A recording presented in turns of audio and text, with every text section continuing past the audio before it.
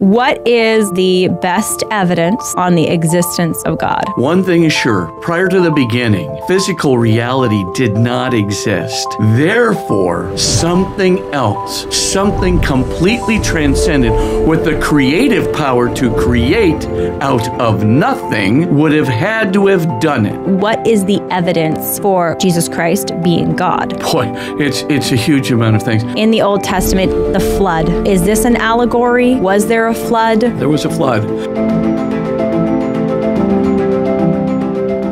Hey, everybody, welcome back to the Lila Rose podcast. Thanks so much to everyone who has been asking me how I'm doing because my voice has been maybe a little hard to listen to in some recent episodes. I had a horrible cough and got sick over the last month, but I am back at it and thankfully feeling much better.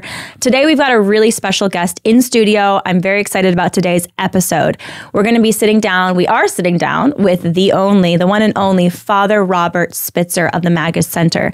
He was also the president of Gonzaga University. He is a very good Jesuit priest, one of the, the cream of the crop, uh, has been a priest for over 40 years, but really has done incredible writing and speaking on the origins of the universe, the existence of God, those mega questions about life and humanity. And we're going to get into that on today's podcast. I think it's fitting. It's the end of the year. We're going to be going into 2024. We just celebrated Christmas. Merry Christmas, by the way. Sorry for not already saying that. Um, but we're going to talk about the big questions about how do we know that God exists, uh, proof for the existence of God, and so much more. So without further ado, Thank you so much, Father Spitzer, for joining the podcast. Oh, always great to be with you, Lila. Thanks for the opportunity. So, quick background on you for those that are not familiar. You're one of the most brilliant priests around. Um, everyone thinks so that knows your work. So, give us a little background on your educational background and on your professional work, Father? Well, um, uh, my professional uh, background is I, uh, you know, would teach uh, in, a, in, a, in, a, university in the philosophy department generally, but uh, taught philosophy of science, taught also um, metaphysics, the relationship between faith, science, philosophy, and science um, throughout my career. I started at Georgetown and went um, to Seattle University, where I took the Frank Frank Chair uh, there, and then uh, finally went to Gonzaga University as the president uh, of the university there, uh, but continued to teach in the areas of uh, philosophy of God, faith and science, um, you know, scientific evidence of God, etc. In those areas for those times, and I've wrote, written it extensively on it. I just published two new books. Um, one's called Science at the Doorstep to God, um, and the other is Science, Reason, and Faith: Discover the Bible. And I have another one coming out um, called Science at the Doorstep to Christ, uh, talking a little bit about uh, uh, the Shroud of Turin, Eucharistic miracles, the scientific investigation of those things. So um, uh, I've been uh, hard at this uh, subject for for many many years. I've been a priest for forty years, as you said, but um, also I've been in the academic area um, for even longer time, about forty five years. I've been doing this. Wonderful. And the institute that you lead now, what does the institute do? Well, the Magis Center um, certainly, of course, uh, sponsors the books. Uh, we do want to get out to that. Uh, audience that is uh, can benefit from a book, wants the deeper explanation, and so forth. And the reason we write it is because the Catholic Church has been the leader in faith and science and faith and reason.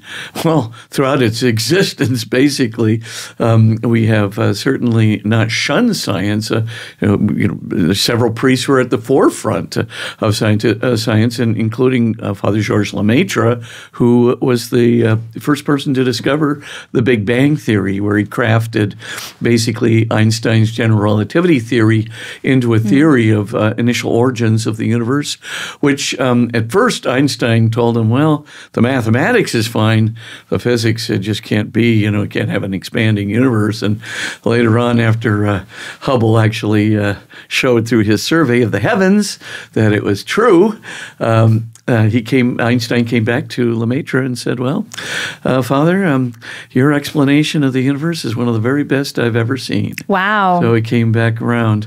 So um, in any case, but the Catholic Church has been in that uh, in that area for a long, long time. So the books are really important. Um, that's uh, uh, you know for us a kind of a foundation stone to keep the the Catholic Church current in those scientific areas and the philosophical areas. then we also make high school and middle school curricula. So, if I might uh, brag, um, there is a very good uh, book called uh, series um, called "The Catholic Faith and Science." Uh, one of is a is a one semester course for middle school called "Speak the Faith." The other one um, is a one semester course for senior year of high school called "The Catholic Faith and Science." Our partner is Sophia Institute for Teachers. Uh, with that uh, course, I recommend it for anybody if you want to form a, a leader in, in evangelism um, uh, these days, science does the talking for young people. Mm-hmm. Uh, no question about that. And if we don't let science do some talking uh, to show the evidence uh, for God from science, um, I'm afraid uh, we're going to lose 42% of our kids, uh, which is what the Pew survey is showing very recently. But we also do many other things at Magis. We also, um, you know, run um, a series of on our own website. Uh, we have a series of resources uh, there as well. Uh, we also have a parish program that we work um, again with Sophia Institute for for Teachers. They publish our books, and you know I do the videos and things that can be self facilitated. And then we work with youth groups as well. We're starting to put together a deal with Life Teen right now, and we're also working with seminarians because the propedeutic year for the seminary that's the time to really get the scientific training and background undergirding our faith, which will help young people out, but it'll also help the seminarians out mm-hmm. as well. So we kind of diversify into all those areas, but uh, they're all very needed in our culture today. GoodRanchers.com is American meat delivered. It is America's number one meat, poultry, seafood, and pork company. This is all 100% sourced in the United States of America, and the quality is amazing. One of the best steaks I've ever had was from a Good Ranchers box that I received. My husband and I have their chicken and their steak, and we've been eating it regularly. We love it. The quality is like nothing that you can find in the grocery store. At goodranchers.com, you can also get some great deals right now. You can get a single box of a meat and poultry mix, or you can get a subscription and some amazing discounts on your meat subscription so that you get every month your meat and poultry or your seafood and pork to your home. 100% guarantee satisfaction, free shipping, fast shipping. So go to goodranchers.com today. You can check it out, get 15% off your order. You can use the code LILA at checkout for that extra percentage off.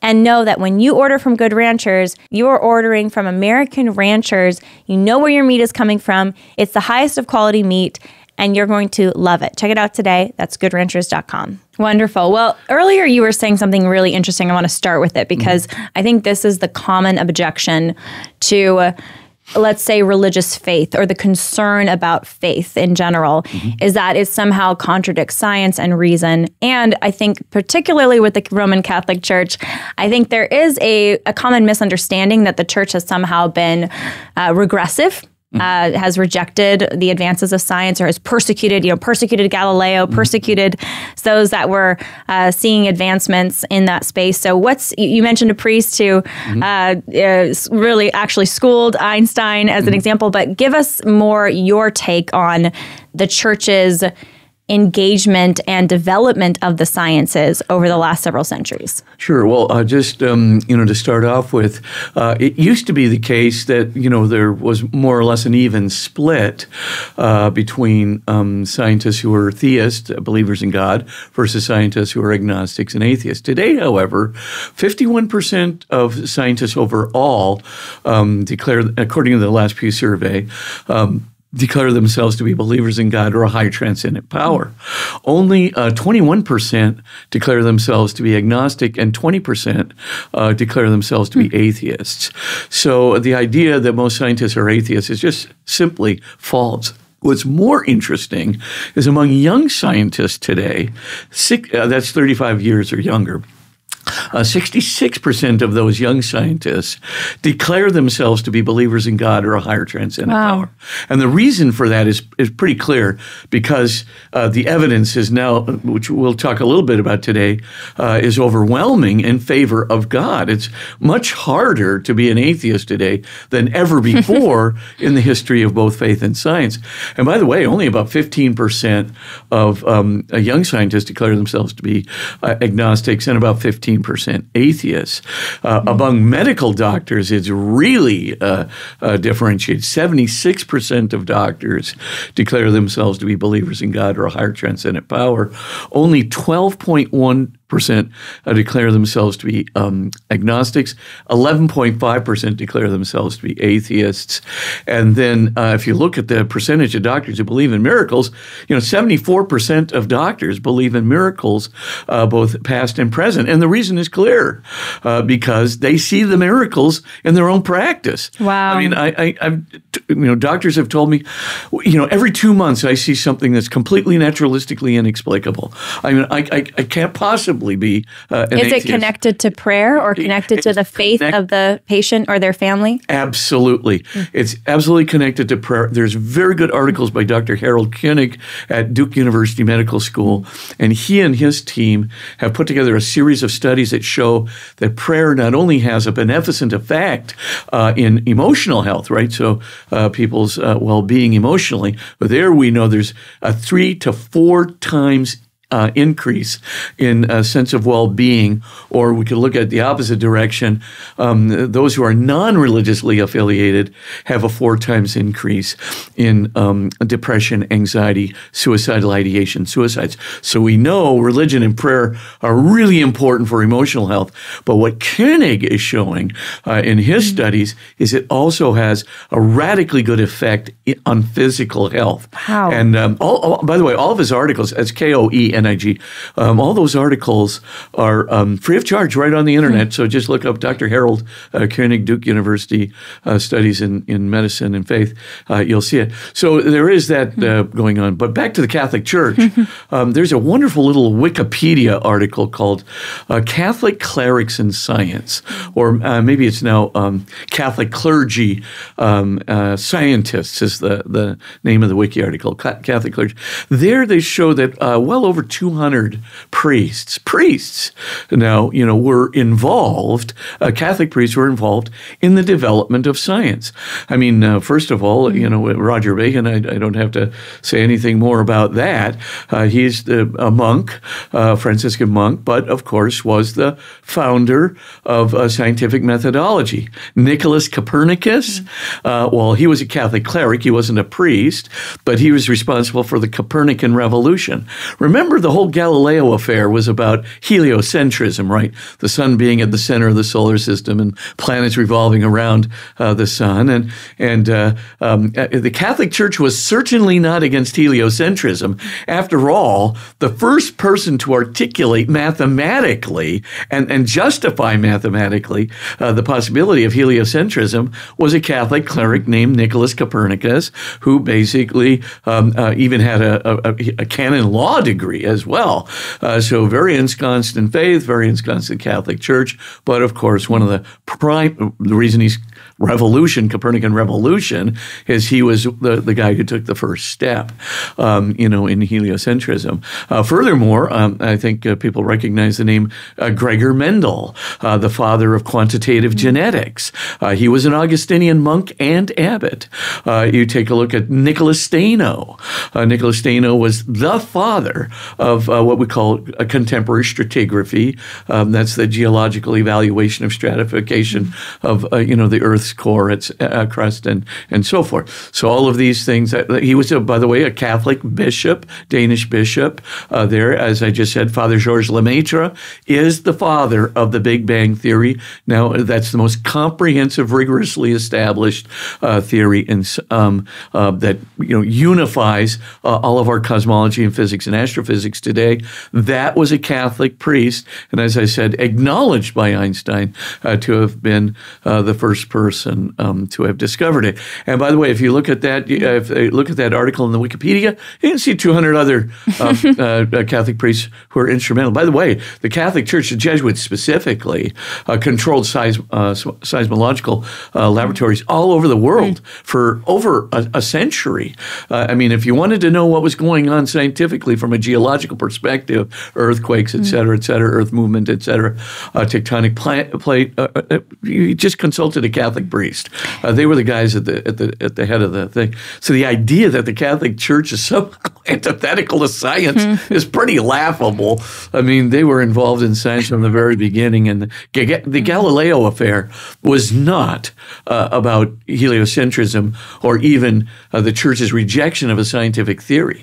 It was all about the rules of publication during that time. And basically, the Pope said to Galileo, This is very controversial. We're getting our chops busted here by a lot of people, not just the Catholic, Catholic uh, faithful, but Protestant faithful as well, are very concerned about this uh, uh, thought that maybe heliocentrism contradicts the Bible. So let's back off on this until we have positive proof from stellar parallax that it is, mm-hmm. in fact, the case. You can't just leap from the lunar orbits around um, uh, Jupiter. You can't leap uh, then uh, to a heliocentric view of the solar system without factual verification through stellar parallax. That's a technique that you can use to verify that uh, for sure. The only explanation um, is that the the uh, er, the planets are orbiting around the sun rather than um, you know the sun and the other planets orbiting around the Earth. That was called geocentrism. But the, the key point is is uh, the Pope just asked him hold off on the publication. It was Galileo who said I don't think I'm going to do that. I'm going to publish this as fact. And then of course he kind of ridicules the Pope as being a fool in his dialogue. And uh, you know, the Pope said, "Man, you know, this is this is uh, way beyond the pale here. You're acting, that, you know, like something that uh, is not a fact, established fact yet, um, is really the truth." Uh, there was a, a, very fine Jesuit by the name of Saint uh, Robert Bellarmine, and Bellarmine, ten years earlier, before the whole controversy, I'm convinced that if Bellarmine had been alive, um, uh, the controversy would have never happened. Mm. But Bellarmine actually told his friend Foscarini, he said, look, you know, uh, and we now call that Bellarmine's principle today. But he said, look, he said, if you can give me a scientific demonstration that in fact the, the earth is orbiting around the sun, then no problem. It's up to us as scripture scholars to find an interpretation of scripture that does not conflict with the scientific fact. But to my mind, such a demonstration does not exist yet. And of course, it didn't exist until Bessel came along, mm-hmm. you know, um, almost almost 200 years later and established through stellar parallax, um, you know, that heliocentrism was indeed the case. So, I mean, um, it, it, it, wasn't about the Catholic Church rejecting science. Catholic Church would never have done anything like that. Uh, the Catholic Church would, uh, you know, certainly have been open to it. And Bellarmine, as he said, hey, if you can give me a scientific demonstration establishes the facticity of this, I'm all over it. But uh, you don't have one, uh, Galileo. Then when he published that thing, then that's when the Pope got upset and said, "Hey, you know, you broke your promise, et cetera, et cetera." So it wasn't that it might, in some way, uh, endanger Scripture. It was more that we want more proof, and we need mm-hmm. to, you know, there was a there's a high standard that they had for mm-hmm. new theories that were being kind of expounded upon, especially in a culture where you know the papacy had an outsized impact both politically and and culturally. I think people don't realize that today because mm-hmm. today's papacy has some impact politically, but nothing close to what it did in the last, you know, few hundred years of, of Western civilization. But yeah. you mentioned something really interesting. We'll start with this when we go, because mm-hmm. we're going to get into how do we know God exists? Is there empirical evidence that God exists? And I'm going to ask that question. But 1st mm-hmm. you mentioned the Big Bang Theory mm-hmm. as a theory of a Catholic priest initially. Mm-hmm. Can you explain how the, because some people see the Big Bang Theory as well, the universe came into existence not through God and the, you know the seven days of uh, creation in Genesis. Clearly, this denies that because Big Bang Theory doesn't account for seven days of Genesis, no. as it told in the Book of Genesis. Can yeah. you break that down for people? Why the scriptural account of the creation of the universe is in no way contradicted by a Catholic priest's theory of the Big Bang. Sure. Well, first of all, you know, um, with respect to uh, uh, you know looking at Scripture um, and um, uh, science, the first thing is we got to go back to that uh, encyclical of Pope Pius XII uh, called Divino Afflante Spiritu, and, and, this came out in 1942. But Pope Pius XII, you know, of course, you know, the Big Bang theory uh, was already published by Lemaitre in 1927. So, I mean, the word was out. The universe is, you know, now we know the universe is 13.8 billion years old. Uh, at the time, Lemaitre thought it was 18 billion years old. That's because he didn't have the good observational powers of telescopes we have today. But the point um, is that um, uh, when uh, this came out, you know, Pope Pius XII had to answer, and he made an observation that stays with us to this very day. And the um, and he said, look, the point of sacred scripture is to give sacred truths necessary for salvation. That's not the purpose of science. The purpose of science is to give an empirical, mathematical explanation of the physical universe. Now, um, you have to let the two, you know, methods do what they're supposed to do according to their two purposes. You don't want to make, um, you know, uh, you know, the sacred scripture, which is supposed to give us sacred truths necessary for salvation. You don't want to make the, the scriptures do science because that's never been the intention of God in the scriptures, and it was never the intention of the biblical author in, in you know being inspired to write the scriptures to do an empirical mathematical explanation of the physical universe.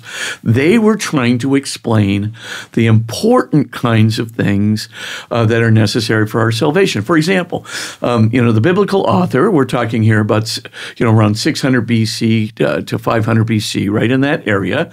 The biblical author um, uh, who's uh, you know writing uh, you know let's say our Genesis one account um, in the Bible, and and um, uh, we call him the priestly author, whoever uh, he was. But this mm-hmm. priestly author uh, who's writing it in about 600 to 500 BC, he, he's looking at it from the vantage point of there's all these rival myths out there, the Gilgamesh epic, right, and mm. and the Atrahasis, um, you know, epic, and so forth and so on, and they have a very different view of cosmology than me, you know, the biblical author.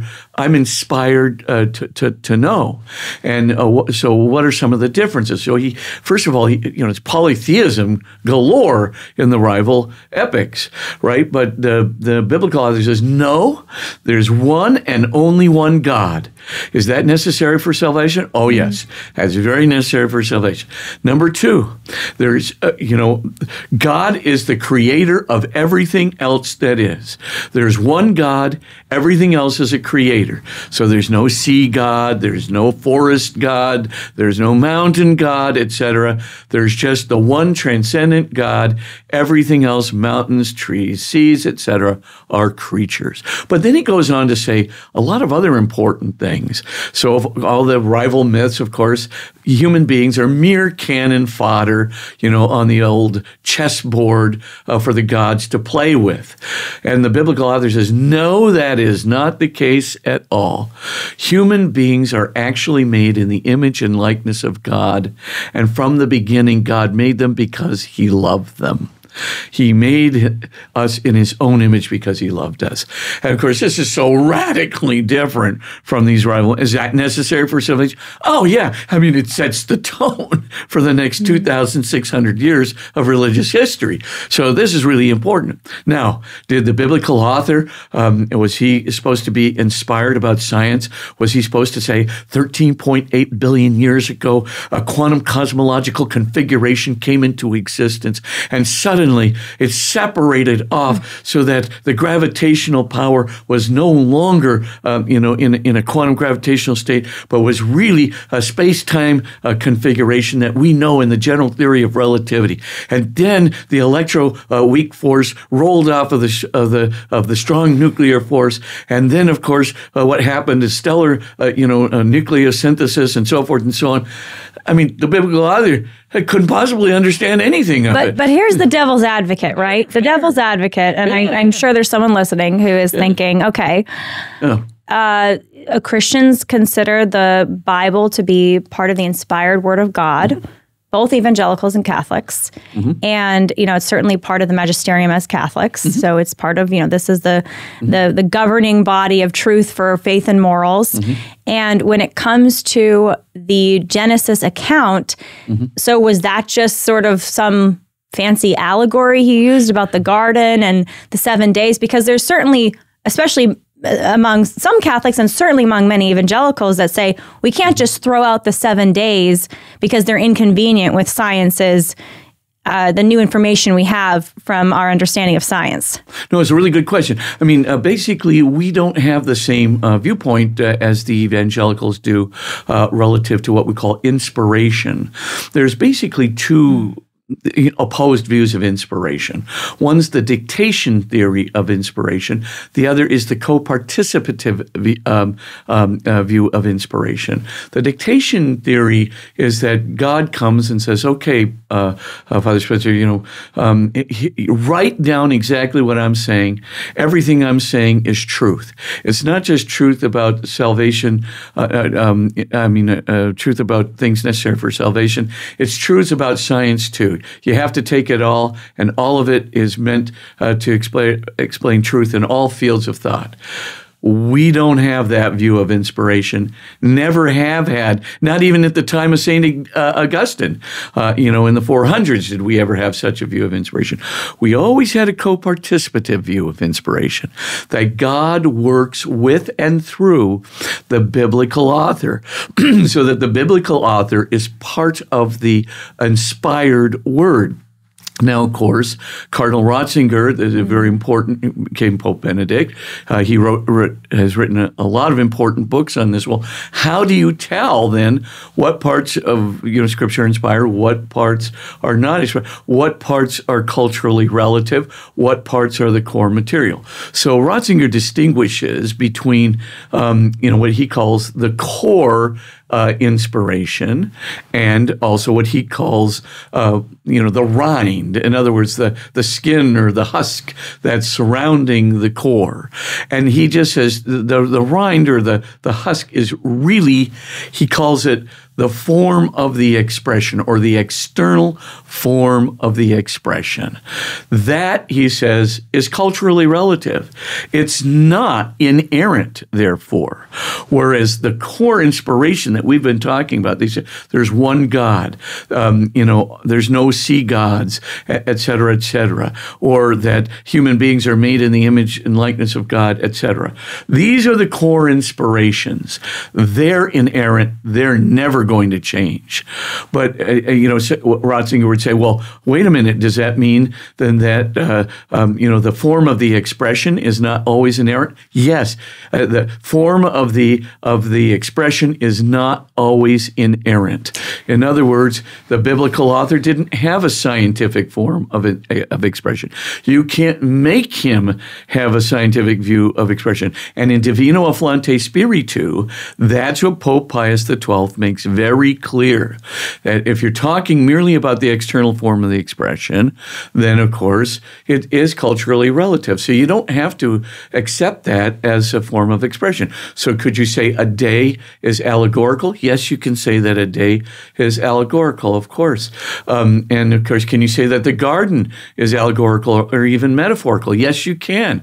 And by the way, most Catholic scripture scholars today uh, view the garden per se as metaphorical.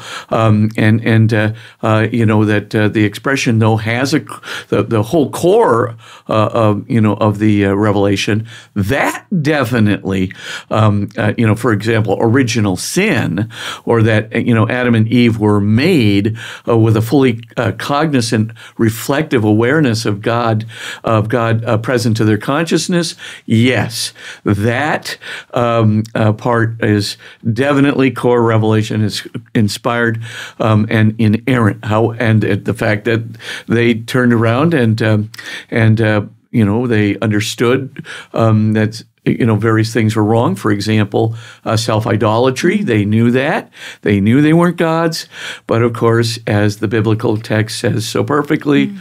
uh, the devil comes with what little tidbit mm. for them if you eat from this fruit why you'll be just like God's.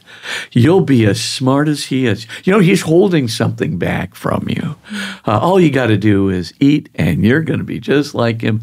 Self idolatry to the man. Do yes, that's a core inspiration. You know, and they went ahead and ate the fruit, and of course, the fall happened. Concupiscence enters into the world. That uh, original condition of Adam and Eve is is now ruptured, and of course, we're stuck with it uh, to this very day, and uh, what we call being born into original sin. So I have always had a hard time finding skincare products that I really liked and wanted to continue using. I've tried a lot of different products. So I was really excited to discover NimiSkincare.com. That's Nimi, N I M I, skincare.com. What's so awesome about Nimi is it's a beautiful brand that shares our values. It's a pro life, pro family brand. But that doesn't mean necessarily the product is going to be amazing. So I tried the product a few months ago and I fell in love. Nimi Skincare has an amazing vitamin C cream that I love using, an evening moisturizer that I've been using, and I also really love their sunscreen. They have amazing products that are simple. The ingredients are no nonsense. They're listed on the website. You know what you're using on your skin, and the price point is great. So check out NimiSkincare.com. I think you're going to really enjoy their products. That's NimiSkincare.com, and you can get 15% off your order using the code LILA at checkout. Let's mm-hmm. take that for a moment. There's so much good stuff to unpack here, and we're going to get to the proof for the existence of God in, in maybe maybe towards the end after exploring okay. this piece because yeah. I think it's connected to the Big Bang Theory coexisting with the Genesis account and both being true, parts of the Genesis account potentially being allegorical, as you're saying, but there's core truths that don't change, like man and woman, he created them in the image of God, he created them.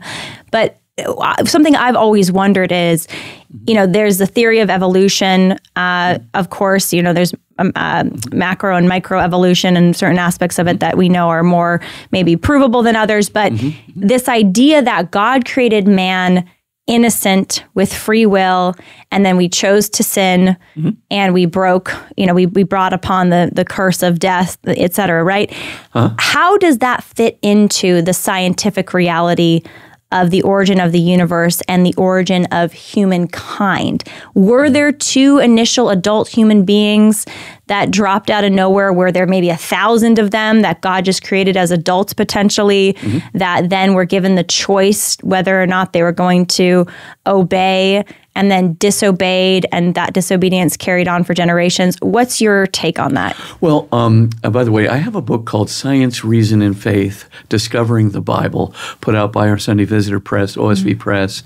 Um, I have this explained uh, in the first three sections, but let me just give you the brief the cliff notes the cliff notes version in the scientific account of evolution mm-hmm. uh, there's no question um, that homo sapiens sapiens um, you know were you know kind of originating out of previous hominids. So it'd be Homo erectus prior to Homo erectus uh, was Homo habilis prior to Homo habilis. There were a variety of other uh, uh, elementary hominids.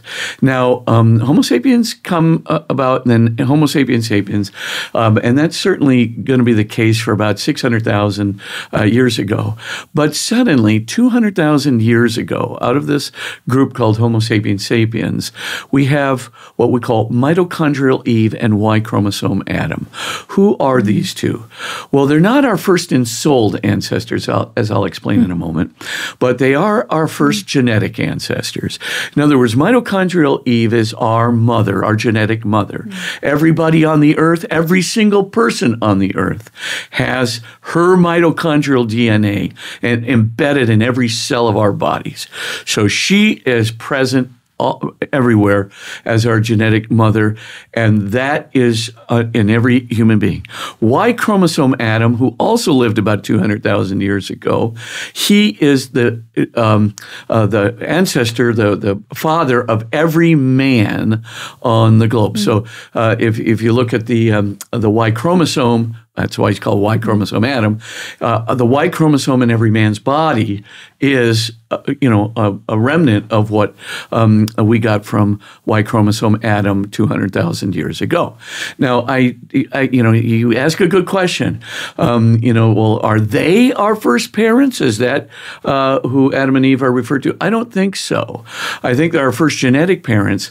But for 130,000 years, our, you know, the progeny of uh, mitochondria Eve and Y chromosome Adam, they were you know living at the border of Namibia and Angola, uh, you know cracking coconuts and eating bananas and being very sedate and non-creative. So these are not Homo sapiens. Well, they are. Homo They are Homo sapiens. Oh, very much so. But you're saying they're not ensouled yet. They, I don't think they're ensouled. Wow. Uh, in fact, I think ensoulment happened 60,000 years ago. There's a very good book that just came out about five years ago, MIT Press, by Noam Chomsky and Robert Berwick. And in that book, it's called Why Only Us. You get the, the genetic evidence of uh, there's something strange going on 60,000 years ago. Anthropologically, we call it the Great Leap Forward. I'll just give you the cliff notes again. 60,000 years ago, there's no previous example of mathematics being anywhere around Homo sapiens or around the, the progeny of Y chromosome Adam and um, uh, mitochondrial Eve. None. And then all of a sudden, 60,000 years ago, we see counting sticks everywhere. And we see notch counting sticks. We see three road non, uh, um, uh, notch counting sticks, where people are actually doing not just addition, but multiplication on various ba- uh, base levels. And, and you look at that and you go, wow, well, you know, that just came out of nowhere. I'll get, you know, I'll get to the point in just a moment. Then suddenly there's no conceptual language, uh, you know, uh, like, for example, we have perceptual ideas versus conceptual ideas. Uh, perceptual ideas, uh, ideas were a very highly trained uh, chimp, like Nim Chimpsky. He can learn 120 uh, words in American Sign Language. But all American Sign Language is doing is comparing the image of a banana with the symbol, uh, the, the American Sign Language symbol of a banana. That's great, but it's all on the perceptual, individuated image level. Nim Chimpsky has no uh, words for groups, no words for relationships among things, no um, uh, words for relationships among relationships. In other words, no abstract ideas that can serve to function for math, to serve for groups of things, uh, where you can talk, you know, talk about groups of things and make abstract comments about them and characteristics about it. You know, Nim Chimpsky, with all of his 150 words in American Sign Language, he can't distinguish between dog bites man and man bites dog. What will make a you know a two-year-old little child chortle at the thought of a man biting the dog? Nim's clueless. He doesn't get it because he doesn't have any conceptual ideas. But 60,000 years ago, what do we notice? This huge advance in technology, not just in weaponry and fish hooks, but I mean navigation technology, the creation of boats, geography. They're actually now beginning to, to, to, to, move 60,000 years ago from, you know, the, the border of Namibia and Angola all the way up to the northern coast of Africa. We'll talk about this in a moment. And then using navigation technology that's highly sophisticated, go all the way down to India. I mean, th- suddenly, where's this coming from? And so we can see that there's conceptual ideas going on. Then we also notice homo religiosus, right? So it's not just homo mathematicus and uh, you know homo uh, uh, linguisticus, etc. That we also see this this homo religiosus, where all of a sudden uh, human beings sixty thousand years ago start burying their dead with grave goods that could be very useful in the afterlife. Uh, Neanderthals buried their dead, but never with a grave good. They never buried them with flints and weapons and spears, uh, you know. And then all of a sudden, these figurines of goddesses, not just fertility goddesses, but lion goddesses and all kinds of other things, you know, powerful god, uh, gods and goddesses, excuse me. And so you begin to see, aha. And then we begin to see the symbolic cave uh, paintings that are going 60,000 years ago we, in the caves and in Indonesia and in France. Suddenly we get, you know, art of every kind. And it's not just um, art like painted jewelry, though that, it's not just music from bone flutes and, and, and things like that. Oh, there's certainly that. But also we get highly symbolic paintings. In other words, we can see that these in, in these images that are being drawn, there's some notion of transcendence, some higher power that's already that, that, that human beings are thinking along the lines of it isn't all about just being here on earth. They have a sense of uh, immortality, they have a sense of uh, divinity and transcendence that goes way beyond any Neanderthal. And then it gets even more interesting. Uh, you know, it's not just the, the aesthetics and, and, and so forth, the religion, but all of a sudden we can see that the complexity of the establishments that they have. So they're now building villages and as an order to the village. There's a center, there are peripheries, all kinds of, but it, gets even more interesting. Suddenly, as I said, 60,000 years ago, our indolent, uh, you know, um, uh, progeny of um, Y chromosome Adam and, and uh, mitochondrial Eve, suddenly, kablamo, they are going 60,000 years ago right to the top of uh, of Africa. They're crossing the straits. They're going into Asia. They're settling everywhere in Asia. They're just multiplying languages as they go, and all kinds of linguistic systems and grammatical systems requiring very abstract consciousness. And then they're going over into Europe, and they're zooming all the way up to the northern parts of of uh, Europe, and then crossing the Arctic land bridge. So they're moving from uh, Europe or Russia all the way to Alaska. At one time, there was a land bridge. It actually you could walk over uh, to get uh, to the northern parts of, of what we call Alaska today, and then all the way down to the southernmost tip of uh, South America. And we did that in 10,000 years. For 130,000 years, we did nothing but eat uh, bananas and crack coconuts, and then suddenly we're like kablamo. But you're you're saying we and our human beings, yeah. human beings. Mm-hmm. But you're implying, and I'm I'm cutting you off a little bit here, but I really want to really want to get this. I know people listening are wondering. Yeah. Is that the the spark of God? It got he created them in his image. He created them male and female. He created them. Did that happen in its fullness at that 60,000 uh, 60, years ago? Was that yes, the number? I think. Mark, and they got ensouled, and that's when they had the ability for worship and for language and for organizing and for relationship? You got it. in other words, in my view, 60,000 years ago, God gave a transcendent soul to the first male um, and first female um, ancestors. So he chose uh, two, two, two, of these progeny and he gave them a, a, transcendent soul. What I mean by transcendent soul is the capacity to transcend mere physical processes. You see, you can't become mm-hmm. conceptual without having what we call some higher abstract notions that give rise to questions and things like that. You're not going to get those from physical processes and structures. We have self consciousness, and you're not going to get that from physical processes and structures. You can show the irreducibility of human self consciousness to physical processes and structures. You can't reduce um, them to physical processes. So, in other words, something happened.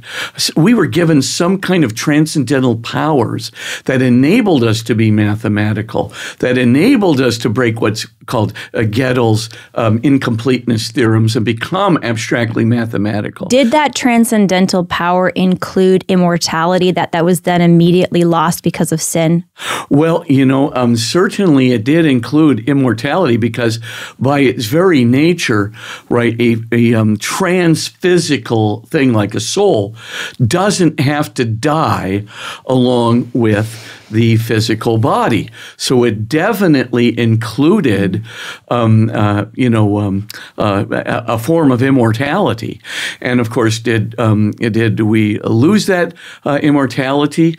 Um, you know, because of um, uh, the the first sin of Adam and Eve. Um, there, you know, the the point that um, you know interpreting the word death uh, comes into the world. Uh, you could certainly say this: human beings knew uh, the minute they had an immortal soul and had this sense, this awareness of being immortal in themselves, they knew that what they had done threatened their capacity um, to uh, live beyond the material world. And that we can surely establish is a biblical fact that corresponds with the scientific evidence. Now, um, did you say, would you say, well, did physical death come into the world at that point? No, uh, because of course there are lots of uh, organisms that died. Uh, there have been about life for about 3.9 uh, years, um, and microorganisms for a long time, but 2 billion years. We've had plant life that's died died, and you know we've then had you know uh, worms that died, and you know uh, you know higher and higher um, amphibians that died, and then finally vertebrates that died, et cetera, et cetera. So there's been a lot of death out there, but the idea, uh, you know, that you who were made to be immortal now could die. In other words, your immortality has been taken away from you. You know, that very thought, of course, is going to come right into only one creature human beings. They're going to know, wow, it could all be over here. Now, that doesn't mean that God condemned all, you know, um, uh, beings um, uh, prior to the coming of Christ uh, to die. Um, you know, uh, essentially, what we hold is that they went to, and in the Old Testament, they went to the domain of Sheol, the realm of the dead, and there they were to await the coming of the Messiah and liberation uh, from death. So that certainly uh, begins to be an, a, a, reality in the Old Testament, starting with Proto Isaiah, with First Isaiah, uh, you know, um, and then uh, uh, certainly we can see it again and again and again manifest not only in the Book of Wisdom and Maccabees, etc., but we see it in various other uh, biblical texts. But the idea of original sin entering the world with mm-hmm. this choice to sin uh, the choice of disobedience, a lack of trust, really, of the Father, mm-hmm. of the of the Creator of God, by our parents, right? And that we all now have this wound. And then there's the, you know, the doctrine of the Immaculate Conception. Mary was conceived without mm-hmm. sin, and we mm-hmm. could. That's a whole other conversation. We're not going to get into today yeah. necessarily, but, but I think the question here is for our parents that those in first ensouled Homo sapiens who are fully made in the image and likeness of God who uh-huh. somehow, at least the first ones, didn't have original sin, the stain of it, and then they got it yeah. by their choice, and by that, mm-hmm. you know, then we all got it. How does that? You know, was it just two people? Was it maybe the thousands that were on the earth and they all decided together to choose to sin?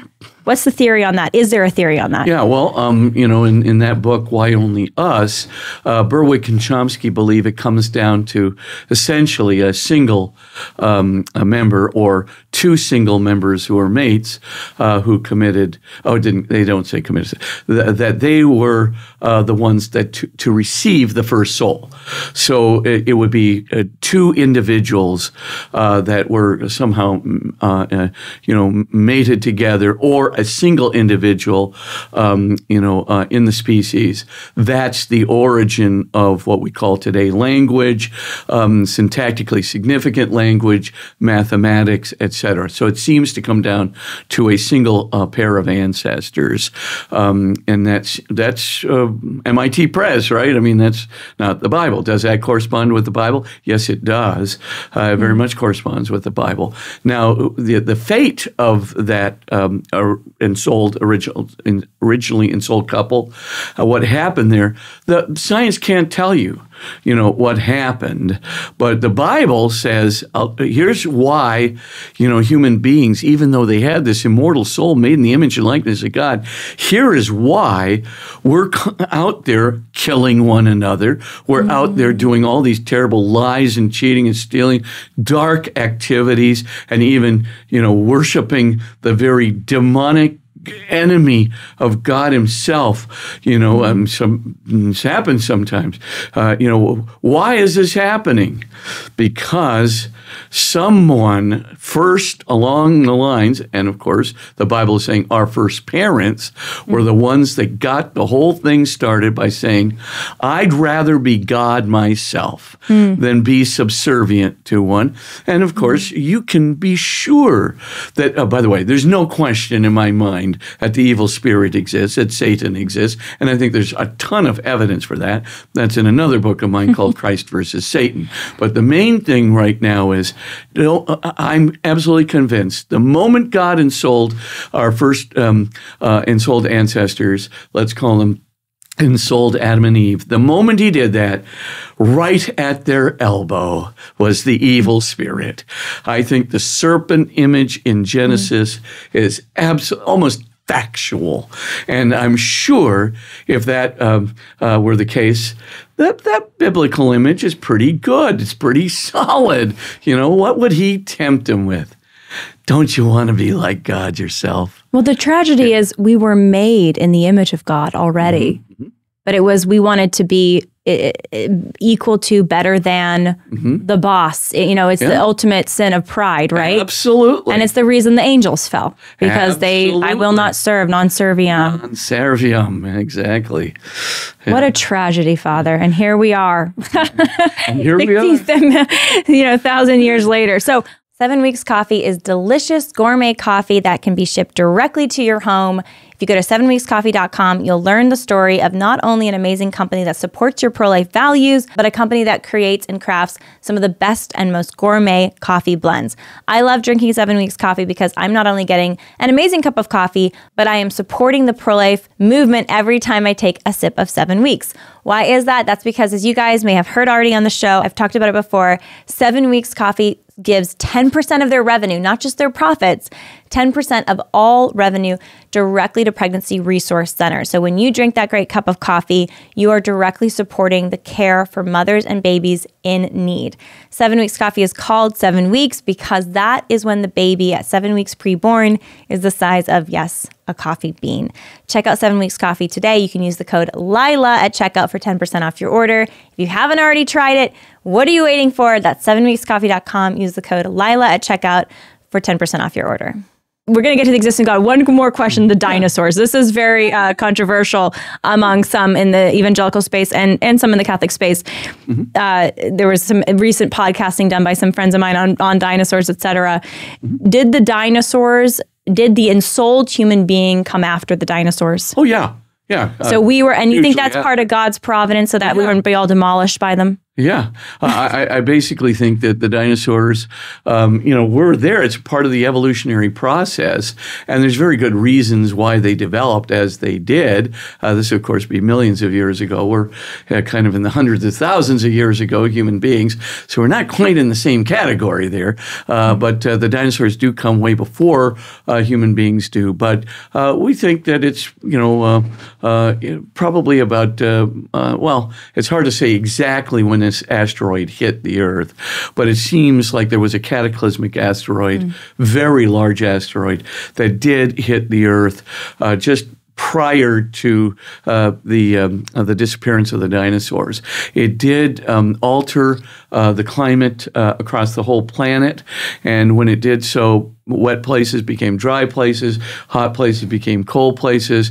Uh, you know, there definitely was huge um, uh, uh, um, atmospheric uh, changes, and of course, the dinosaurs eventually disappeared.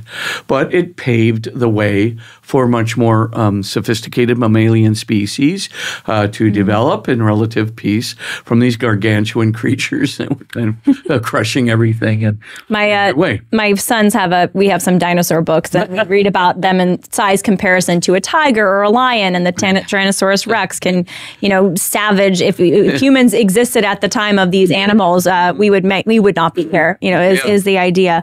Okay, and then and then another part of the account in the Old Testament, the flood. Yeah.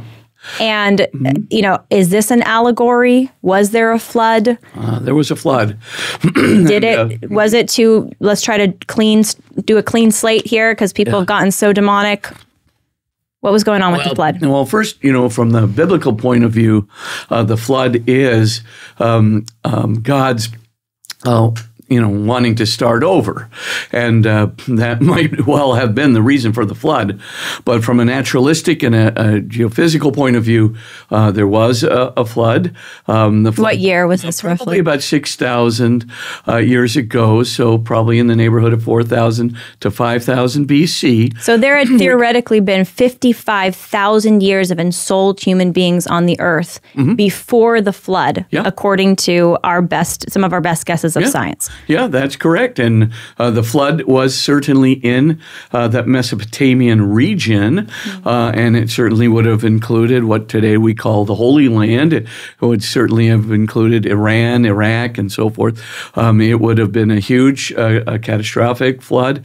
And uh, the fact is, is we can see it, you know, in the layering you know, when I was calling stratigraphy earlier, you can see it in the layering of the earth.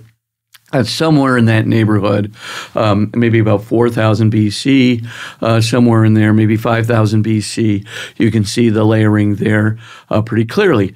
Now, did this etch its way into the mind of human beings? It's in every single epic, ancient epic that we have Cro- across the world. across the board. so Well, was it? A, but yeah. was it a regional flood? You're saying just in Mesopotamia, or was it a world, a global flood? Well, uh, it, it looks like it was a regional one, um, Mm-hmm. and uh, the evidence certainly suggests that from a geophysical point of view. But certainly, it was a huge region uh, occupying a considerable part of the Middle East. So um, when you look at that, I mean, how did it get into Atrahasis? How did it get into Gilgamesh? How did it get to Enuma Elish? I mean, these are all myths are coming from different, uh, you know, parts. And what do they all have in common? Common a flood, a catastrophic flood that wiped out everything. So I think there's very good evidence for it. I think, um, you know, the biblical interpretation, I mean, obviously, if you read the Atrahasis or Enuma Elish, you know, you're going to get a very different viewpoint, right? Of, uh, of or even Gilgamesh. Why, why did the flood happen? Well, there was this dispute between the gods. And of course, in Atrahasis, you know, well, the human beings were too noisy and too, you know, um, uh, difficult to contend with. So the gods got sick and tired of them and wiped them out. Now, the biblical author, of course, he's giving sacred truths necessary for salvation. The biblical author, no, that's not the reason. God wasn't sick and tired of our na- noisiness. He knew very well that we would be noisy when he created us. So, what is the whole point? The point is we became evil. And here's the fundamental difference between the Bible and the rival myths. The idea of uh, moral evil, that is to say, an evil a principle and of course our moral cooperation with something that's evil that basically becomes dark it becomes destructive not only of um, the people around us it is destructive of ourselves and it's destructive of our transcendent spiritual lives and it separates us from god that's the bible that's not in any rival epic. Now, when you get to that point, you have to say, wow, how could the biblical author know this? Only inspiration. I'm telling you, if you look at the whole Middle East, there's only one group of revealed scriptures that has anything like that our Old Testament. Everything else is basically the same thing. The, the gods got sick and tired of dealing with human beings. They were either dumb or noisy or, you know, you know, rapscallious or whatever it was. They didn't like it and they just got rid of human beings. It was, you know, a, a, a split decision kind of a deal, and um, uh, the gods were irritated. Is is there evidence of a particularly depraved population at that time in the Mesopotamia area? I ask this because you know, looking at parts of the world today, and even the United States, you know, our abortion rate, you know, is so sky high. Looking at you know the Holocaust, you know, in mm-hmm. mid 20th century in Nazi Germany, the Soviet Union, mm-hmm. and and the the mass amounts of uh, destruction that it wrought. I mean, we see lots of evils. Mm-hmm. Um, this is just in the last century. Lots of evils perpetuated by modern man post flood theoretically here. So like this idea that God sent a flood potentially to kind of do a clean slate move, how bad were they Well, um, compared to, interesting you us today? it uh, in conjunction with abortion, uh, because I have to tell you, uh, one of the things that is so pernicious, according to the Old Testament, right, that just can't be tolerated, is human sacrifice, particularly infanticide. You know, feeding your your baby child to you know this god, you know Moloch, you know uh, through the mouth of Moloch into a fire in order to get something that you need. And this is an actually documented thing that this was done. oh, this is going this kind of human sacrifice. Yes. Oh yeah, human and infanticide, uh, you know, infant sacrifice is going on all over the place.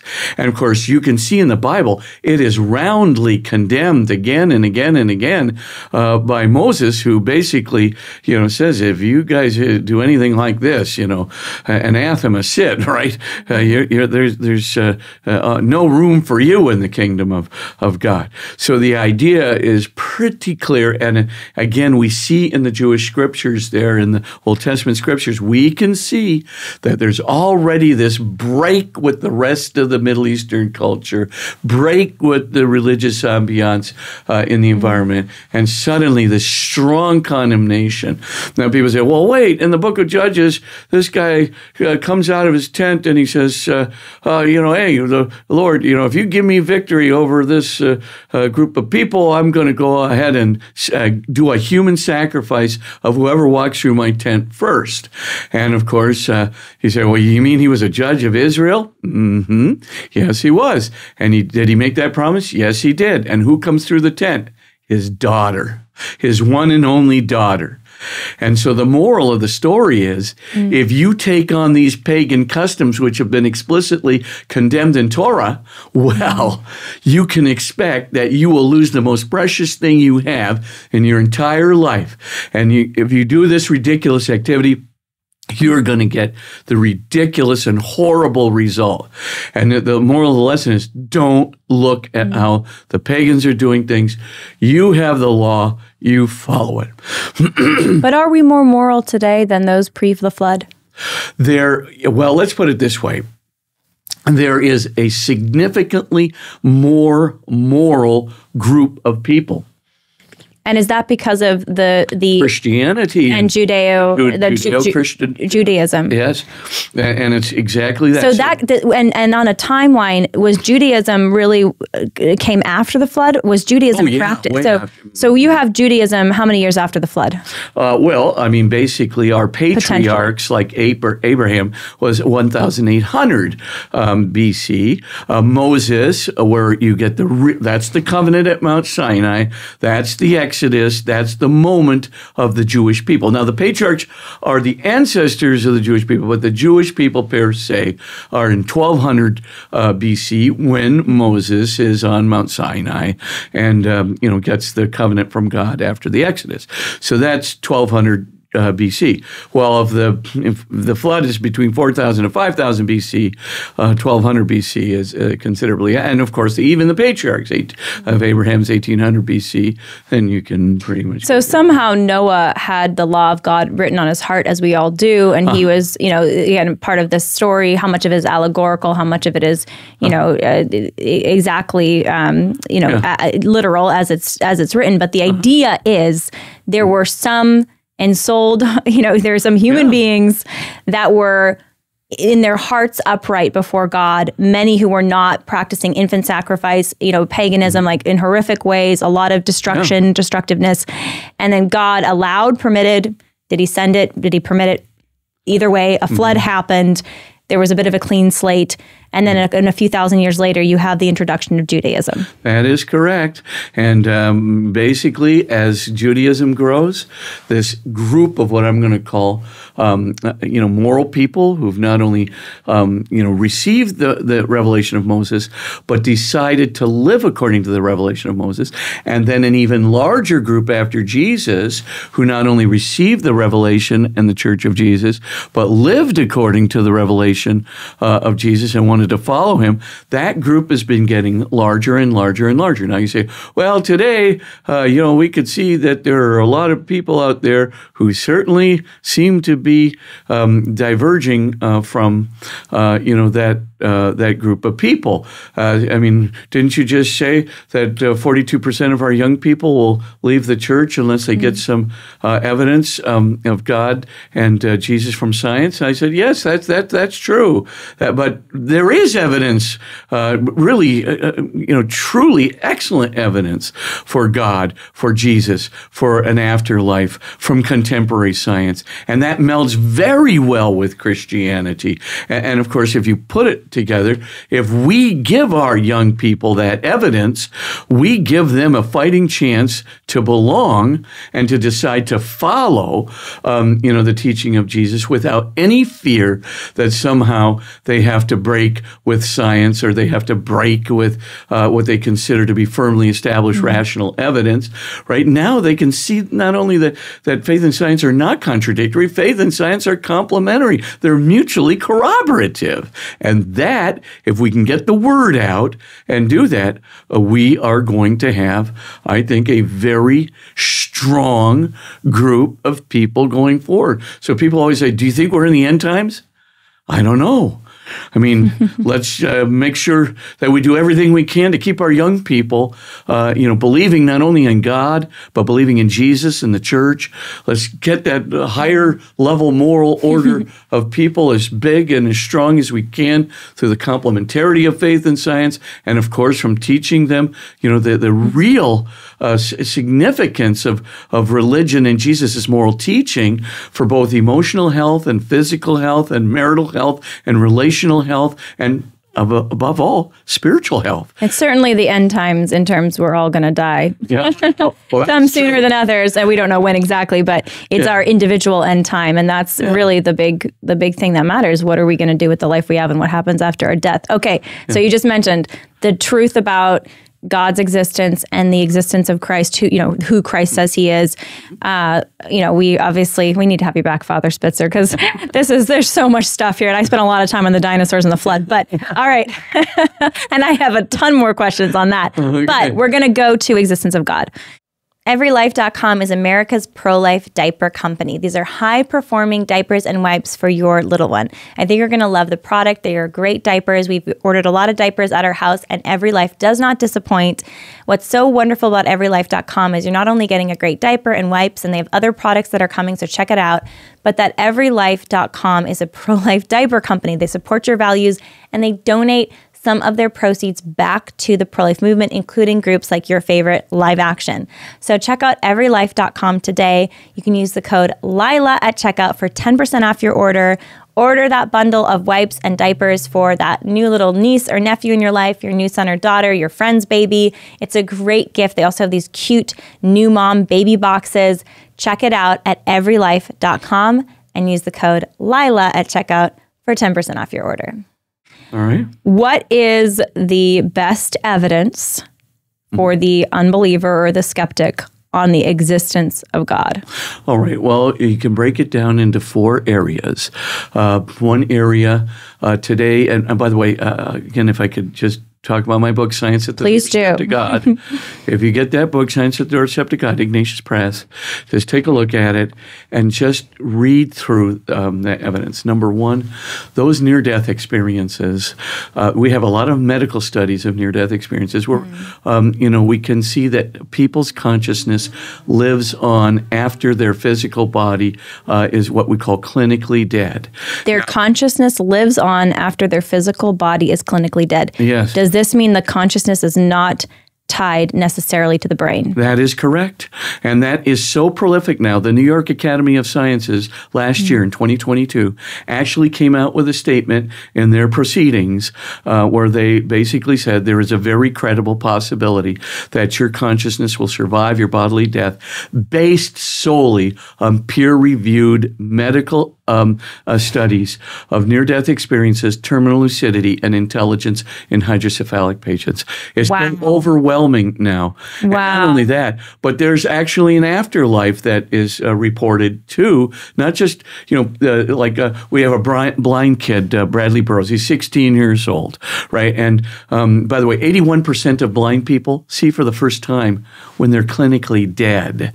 So they're sitting there wow. on the operating table, flat EEG that means no electrical activity in the brain, fixed and dilated pupils, no gag reflexes. And suddenly, for the first time, 81% of blind people start seeing. Wow. Hmm. Consciousness can't be located in the physical body because there was, uh, of course, their eyes were in some sense defective and uh, they couldn't see. And believe me, I know what blindness is all about.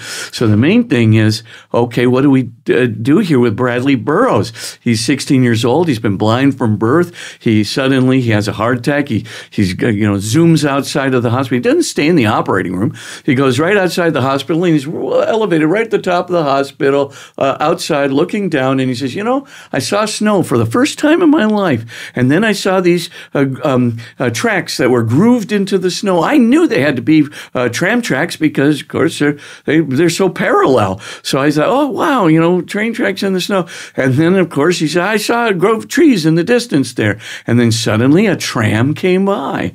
Could And that have just been his imagination then? Impossible. From what people have told him about what those things look like. Yes, but I'm playing the skeptic here, Yeah, of sure. But, yeah. I mean, how could you report though? Oh, on the back of that train, there's a sign with an arrow pointing to the right, and that the train went right down uh, the, this corridor where the tracks were and went into the grove of trees uh, that was in the distance. So he saw the actual train outside. yes, and trains have schedules. not his physical eyes, his Yeah. soul. Yeah, his soul, the, not his physical eyes, his soul, because he doesn't have even a physical Wow. image in his brain, a visual image in his brain that he could hallucinate. But he saw all of this. He described the train, the tram perfectly, the sign on the back of the tram, what the tram did, that it went to the right into the grove of trees, et cetera, et cetera. Hmm. How could you possibly uh, recount that flawlessly if you hadn't seen it? But of course, this wasn't in the operating room where his physical body was. It was outside the hospital, up and above the hospital. So, and by the way, we have really, literally thousands of these uh, validated cases that we call veridical data for it. It's so prolific. The New York Academy of Scientists, um, uh, of Sciences, excuse me, uh, basically said, yeah, there's a very credible, credible possibility that uh, your, your consciousness will survive your bodily death. So that's one set of studies. Uh, I present it in chapters four and five of my book, um, Science at the Doorstep. Then there's a whole bunch of studies that are based on uh, new physical evidence. You know, when I debated Stephen Hawking and Leonard Mlodinow and, and Deepak Chopra on the Larry King show in 2010, Stephen Hawking was pretty much at the point of mm, not really believing in God. I would say mm, mm, right in that area of agnostic to atheist, uh, at least on the show. In 2018, he switched completely. In 2018, he writes an article for the Journal of High Energy Physics, his last article that he wrote called A Smooth Exit from Eternal Inflation. Just emphasize the eternal there. The main thing there is he's been looking at LISA and LIGO, right, the two gravitational wave detectors that are out there uh, with his partner Thomas Hertog. And essentially, what they determined is that our universe could never have, uh, um, um, you know, uh, arisen, you know, never uh, could have originated from what we call a multiverse, um, an infinite multiverse with eternal inflation. So, Hawking, Okay, explain what that means for those listening. Uh, An infinite multiverse with eternal inflation. with eternal inflation. We're not talking about Yeah. crypto right now. What are we? Okay, break well- it down briefly for us here. Sure, absolutely. I mean, uh, a multiverse is like a mega universe, and that mega universe is kind of coughing out all kinds of little bubble universes, trillions upon trillions upon trillions of these bubble universes, one of which is our own.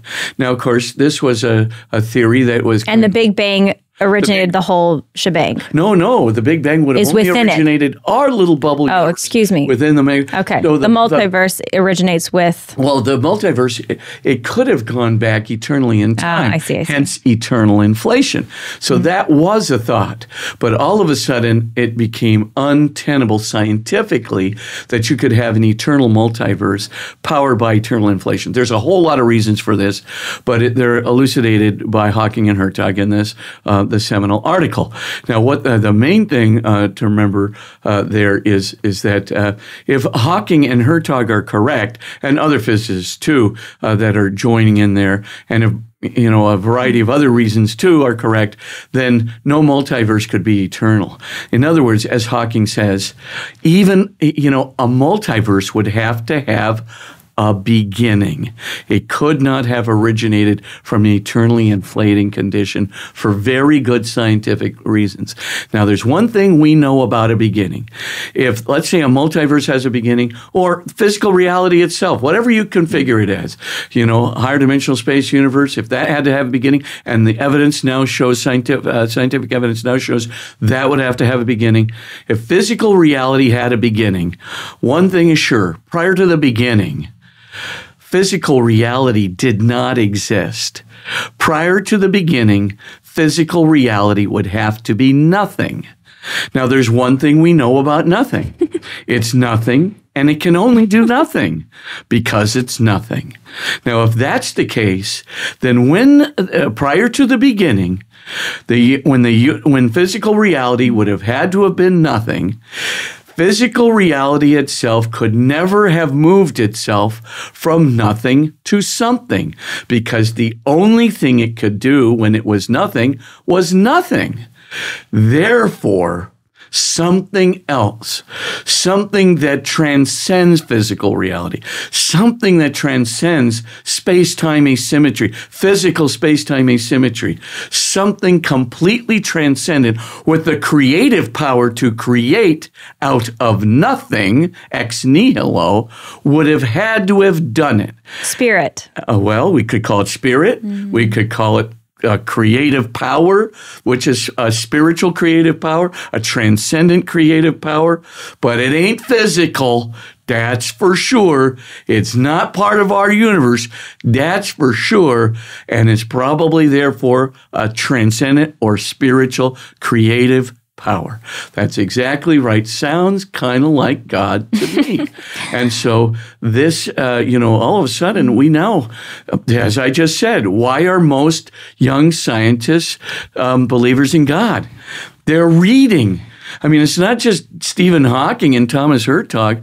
It's now becoming a consensus point that the, you know, the, the, the likelihood, uh, you know, that the string theory landscape, the multiverse, et cetera, all of it's going to have to have a beginning. I've always found it so uh, peculiar about atheism. I've never, uh, I've never been able to, in a way, wrap my mind around it because it seems like it takes more faith to be an atheist.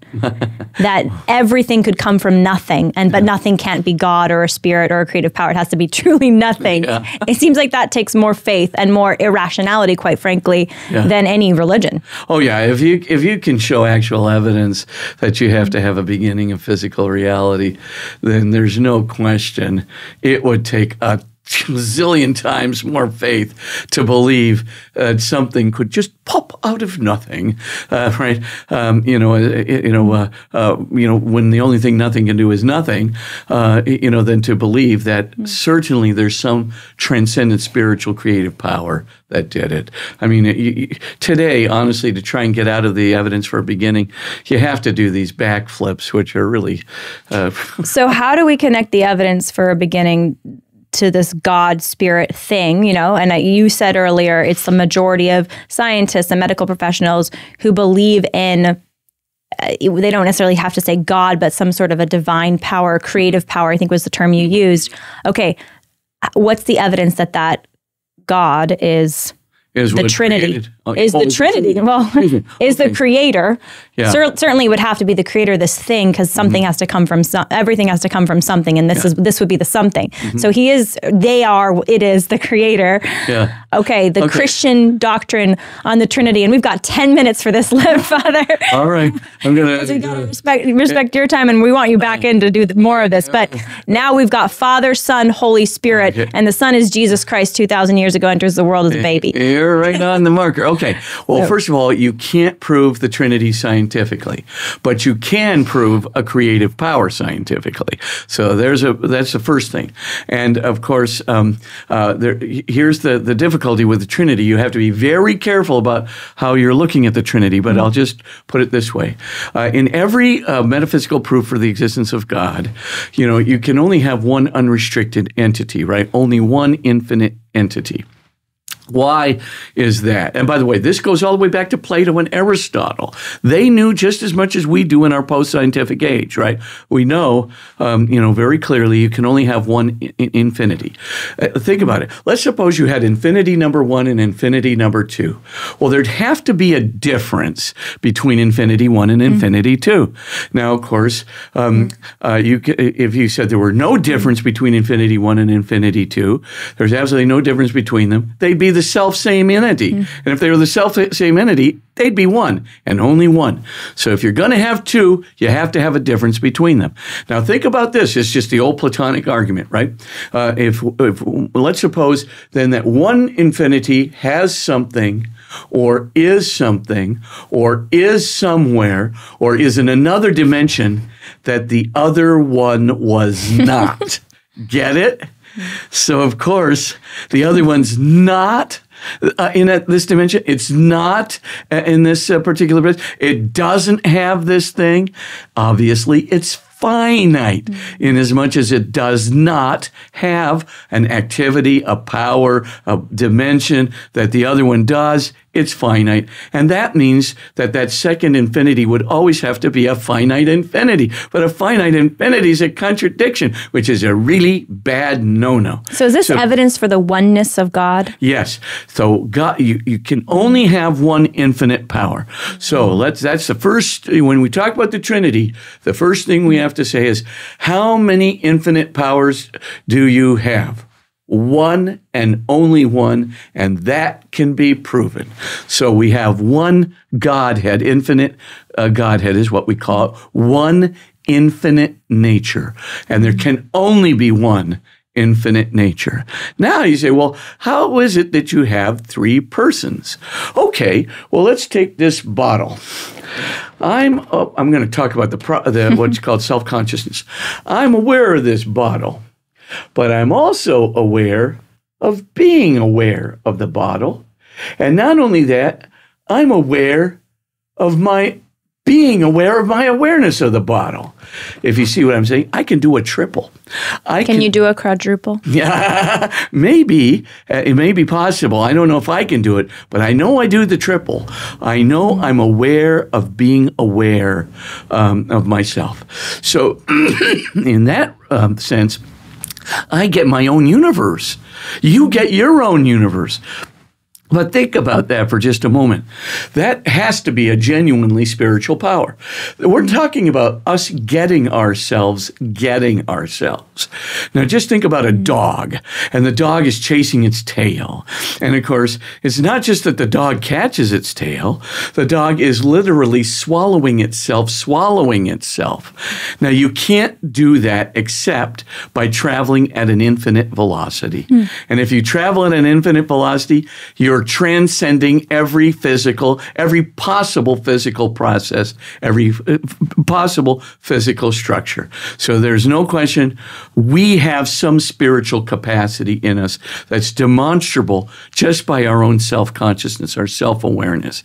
Now, let's take that notion of self awareness, this actual power to get ourselves getting ourselves, so that we can, as it were, be in two uh, different um, relative positions with respect to ourselves at the same time, or three relative positions with respect to ourselves at the same time. Inside ourselves, inside ourselves, that we have this capacity to do this. If that's the case, and we really just analogize a person of the Trinity to like a self consciousness, like, um, you know, a, a self conscious power.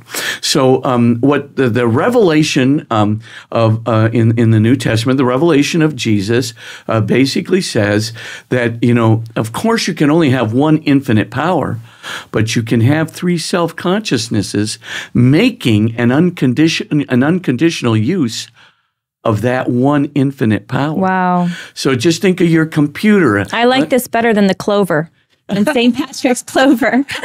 it's a little bit better, more elucidating for sure. anyway, but anyway, so uh, the the long and the short of it is, yeah. So you your one um, your three self consciousnesses um, uh, are making uh, an unconditional use of that one infinite power, and since it's an infinite power, um, why not have three um, self consciousnesses making um, uh, an unconditional use? It's not like you have have three terminals that are plugged into the same central processing mm-hmm. unit in a computer. Of course, you know, the more you plug in, the more it diminishes the capacity of the CPU. But on the other hand, that's not the case with an infinite power. It can mm-hmm. supply anything. Now you say, well, okay, um, what did Jesus say um, that these three self consciousnesses who are making use of this one infinite power, this one infinite intellect, this one infinite intelligence, as it were, uh, what are they doing? Um, you know, relative to each other. They're in love. So we say that then um, the first self consciousness that we call the uh, Jesus called the Father, that self consciousness loves the Son. The Son um, is the beloved, and that's what Jesus calls himself, Ha agapetos, the beloved one. In fact, it's so astounding um, that John, uh, you know, uh, the beloved disciple, names himself beloved because Jesus named himself beloved of the Father. So we can just say, okay, the Father then loves the beloved one, the, the second self consciousness. And then the second self consciousness loves the Father back. So the Father is a loved who is then beloved. The Son, the second self consciousness, is the beloved one who now is a lover. So the beloved hyphen lover. Then you have the Holy Spirit. What's that about? Well, just like children, right? Children um, are. Um, uh, you know, um, uh, loved by the father and the mother. So uh, let's analogize it now to the Holy Trinity. So the Father and the Son together in their unity love the Spirit. And the Spirit like a child, receives the love from both of them and gives back the love to both of them in their unity. So now we have, as it were, a completeness of um, a lover and beloved, and the beloved of the lover and the beloved. So that's why Thomas Aquinas says, okay, in God you have one nature. You have three persons and you have four processions. So the lover loves the beloved. The beloved receives the love from the lover and gives it back to the lover. Then the lover and the beloved, in their loving union, give themselves to the Holy Spirit. That's the third procession. The fourth is the Holy Spirit receives the love of the lover and the beloved, and he reflects it back like um, a child who reflects the love of the unity of the mom and dad back to them. Now, um, that's we call four processions. Now, of course, you're going to say, well, what about the number two? We have one God, we have three persons, we have four processions. What about the number two? Well, uh, as um, the Christian church saw, um, this pertains to Jesus Christ. So Jesus Christ has two natures. So, in other words, um, first of all, who becomes incarnate? Well, the infinite power of God doesn't enter into a finite body. That's a finite infinite. That's a contradiction. That can't happen. And the church, from its very inception, knew that that could never happen. So that's the first thing to notice. So when we're dealing with the Father, the the um, uh, you know the the Trinity, I mean uh, the, the incarnation, incarnation, we basically see that it's the second person, that second self consciousness who's making use of the one infinite power, that second self consciousness is what becomes incarnate. That self consciousness, that inner universe, enters into a finite physical body. But he doesn't give up a being in his infinite, uh, making use of his infinite power with the Father and the Spirit. So he does both. Now you say, well, how can you analogize that? Well, like your dreams, right? Have you ever had this experience where your own self consciousness, right? So, okay, here, our consciousness is here, and we're in this material, and um, I know that I'm talking to you, you're a real entity. But in my dreams, right, I can also have what I call dream world. And so in my dreams, my consciousness can enter into a dream, quote unquote, body. And of course, uh, I can be flying around and I can be doing this and that. I could never do in my regular physical body, but I actually think it's me uh, because it's my self consciousness that's in my dream body, uh, in my dream world. Now, uh, you say, well, okay, all right. So uh, now, how, how could you um, you know, uh, have both your self consciousness in dream world and your self consciousness back in your body at the same time. It's at that one moment or maybe you're falling or something mm-hmm. from a mountain and you go, oh, this is a dream. Mm, your self consciousness right there is aware of the real world and the dream world and which one is which. Now, that's just an analogy. I'm not saying, but I'm trying to give you the thought yeah, a self consciousness can do that. And so we can basically say Jesus Christ is one person one self consciousness that is, um, um, you know, making use of an infinite nature and a finite nature at the same time. There's no contradiction in this.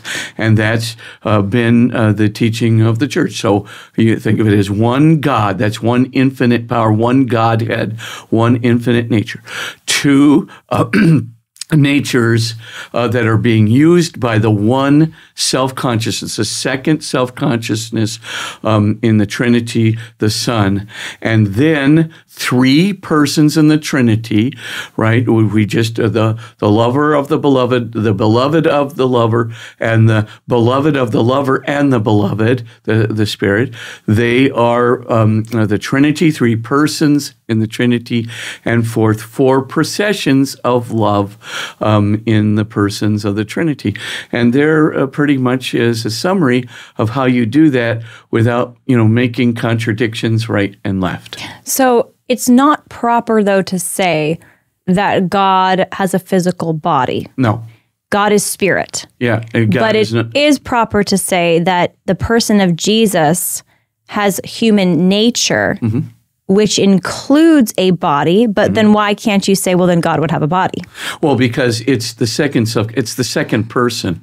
We say that the Son of God has a body. We don't say that the nature of God mm-hmm. has a body. So, right, if you said the nature of God or the power of God or the one infinite power of God uh, had a body, you would contradict yourself instantly because the one infinite power is infinite, and you know a body by definition is is is finite. So you don't want to make a finite finite infinite. So you can't say the one infinite power of God has a body, but you can say that the second self consciousness, the second person of the Trinity, is incarnate, uh, just uh, you know, in a, in a, a, finite body, just like I can I have my second self, my my self consciousness, excuse me, can be in my dream world a body. Okay, so last question for today. We have to have you back, Father. We should we should do this every week. get our get our YouTube live going. Okay, last question uh, what this could be hours, and you've written mm. and spoken on this, but what is the evidence for Christ, Jesus Christ, being God? Okay. Well, there's um, boy, it's it's a huge amount of things. And, and again, uh, if you wouldn't mind just going to my book, um, uh, Science, Reason, Faith: Discovering the Bible, uh, just go to uh, the section on what's the evidence for um, Jesus' divinity. I'm just going to break it down into five uh, points.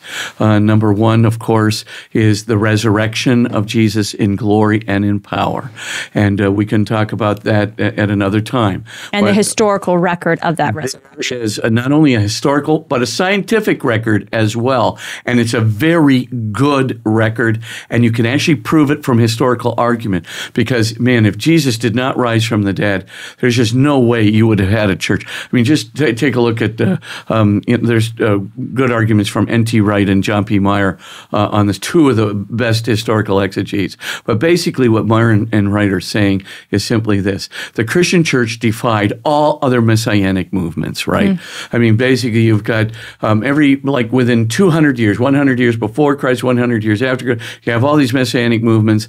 The mess, Messiah of that movement is killed. What happens? Mm-hmm. With, uh, even the messianic movement of John the Baptist. And John the Baptist was, you know, there was a messianic movement around him. The minute he dies, what happens? Within uh, like 30 years, uh, gonzo. I mean, the whole movement is gone. Christianity, uh, the, the Messiah is humiliated, executed, etc., etc. And what do we have? We have basically uh, Uh, the hum, the Christian church within 240 years becomes the official religion of the Roman Empire, the very empire that was persecuting it. An exponential increase. The Messiah dies, and you have an exponential increase going on generation after generation until the Christian church takes over the whole Roman Empire. I kid you not. this is exactly what happens. Byron Wright say, okay, how are you going to do this if Jesus wasn't really risen from the dead, if he really didn't give us his Holy Spirit, and unless those apostles, those first generations of apostles, were doing miracles in the name of Jesus in front of everybody according to the Spirit that Jesus gave them? How, why would God the Father, why would God the Father uh, basically say, okay, I'm going to allow you guys to do these miracles, you're going to raise the dead, dead, going to cure the blind, going to do all these things, and you're going to do it by in the name of Jesus. But Jesus really wasn't who he said he was. Jesus really wasn't risen as the Christian church said he was. Uh, Jesus uh, really uh, didn't tell us straight when he said that he was the exclusive son of the Father. He didn't uh, tell us straight when he claimed to have to know the father and to have the same power as the father and to know the father exactly as the father knew him. Right this uh, that's just a way of saying i'm divine. I'm just as divine as the father. Jesus christ didn't have well if jesus didn't have it straight and the christian church is lying about the resurrection would you mind telling me why again and again and again and again all of these apostles are out there in the first generations of the church doing so many miracles that is causing an exponential increase in the Christian community after the death and humiliation and execution of their Messiah? Are you kidding me? I mean, I think duh. that someone could be listening and say, well, Islam. Islam, you know, Christians don't believe that Muhammad was given an inspired book of the, you know, of the Quran, and eh, yet there have been many, you know, Islam has proliferated. Yeah, but the, important. Oh. Yeah, give give us the distinction why that, mm-hmm. why that proliferation of Islam doesn't prove the truth of Muhammad receiving the Quran from on high and being his prophet versus the proliferation of Christianity via miracles and you know the resurrection proves that the resurrection actually happened. Yeah, well, first two important. I mean, as you said, yeah, there's a real difference. First thing is the Christian church was persecuted every single step of the way until the Edict of Milan in 313 A.D. So, in other words, the Christian church exponentially in, uh, increased amidst. Con- continuous persecution. Islam did not have. It was not militant, is what you're saying. The it early was church not was militant. not militant. They were persecuted. They, they were, were killed. They were martyred. But early Islam was militant and was not persecuted. In fact, so uh, you could make the case. Uh, I might say they they were the persecutors, uh, if I can put it that way. But uh, you know, um, we you know we have to you know uh, be generous in the way we characterize it. But nevertheless, uh, that that's pretty much the case. The, the, characterization. The second thing Uh, that that really is the case too is you look at what's intrinsic uh, to Christianity, namely the primacy of love. So um, this is very different from jihad as the central, uh, uh, you know, credo. That uh, conversion through jihad is is the central thing. Well, you contrast that to love. Now, you know, you, you can say that militancy uh, um, is going to produce a lot of mm. exponential increases because, of course, if you start conquering people right and left, you create an atmosphere of fear right and left, and you push everybody uh, into submission mm. or you know, you get jihaded, right, and so forth and so on. Um, you know, you get a fatwa on you. Um, uh, for all intents and purposes, that's one way of proliferating, right? But it ain't the Christian way of proliferating. The Christianity does not uh, talk about jihad. It does not talk about uh, conversion at all costs by producing a, you know, an atmosphere of fear. If you look at Jesus' teaching, it's very, very clear, right? Blessed are uh, what we call the poor in spirit, mm-hmm. the humble-hearted. Blessed are the meek meek, the gentle-hearted. And this is not exactly a warrior, uh, you know, um, you know, uh, rah rah militancy speech. I mean, this is just the opposite. What did the Romans say about what Christianity was doing to the Roman Empire? These guys are so meek and humble, and uh, you know, they're they're so forgiving and compassionate that they're making us weak. We're becoming less of warriors, right? Mm-hmm. And of course, Augustine has to say, "Hey, wait a minute, it's a different kind of strength, but it's mm-hmm. not the strength." Strength that uh, can do this by militancy, mm-hmm. by power, by um, threats, by fear, etc.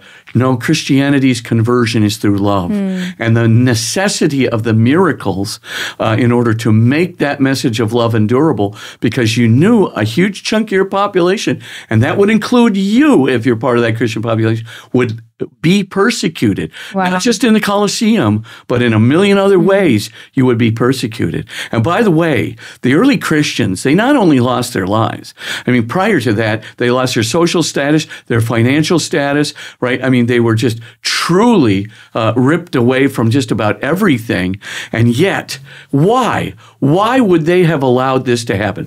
Why would they have done? Because they were utterly convinced uh, um, that Christ was risen from the dead. They were utterly convinced that the hmm. Spirit of Christ, working in the name of Jesus, was performing hmm. miracles right and left. They were utterly convinced that the that the works of the Christian church, namely, uh, uh you know, the Christian church became the largest by far healthcare organization, the largest by hmm. far educational institution, the largest by far public welf- welfare institution, and still is to this day. If you look at the Catholic Church, oversees 26% of the healthcare in the, in the world. Wow. You look at uh, the Catholic Church, still 98,000 elementary schools, of 46,000 uh, uh, secondary schools overseen, you know, thousands, tens of thousands of orphanages, tens of thousands of public uh, welfare distribution uh, centers, tens of thousands of, of uh, uh, treatment for uh, marriages and, and widows and so forth and so on. You look just around the globe. I mean, I, I mean, Jesus' word, the, the, the, the uh, idea of proliferating love and, and proliferating um, this in the way that Jesus did it, don't worry, he'd take care of it, even though it's counter to every logic of the world that says use fear, use power, use militancy. That's the way you're going to get an expansion. Jesus said, nope, you trust me, you trust my um, Holy Spirit, you trust the miracles, you trust the name of Jesus, you, teach, you trust my teaching, and you'll proliferate by doing my will, and you will proliferate the right way toward a world of peace, toward a world of, of genuine concern and compassion, even for the weakest hmm. people. And of course, finally, at the end of the day, right, whatsoever you do to these least ones of mine, hmm. you do to me.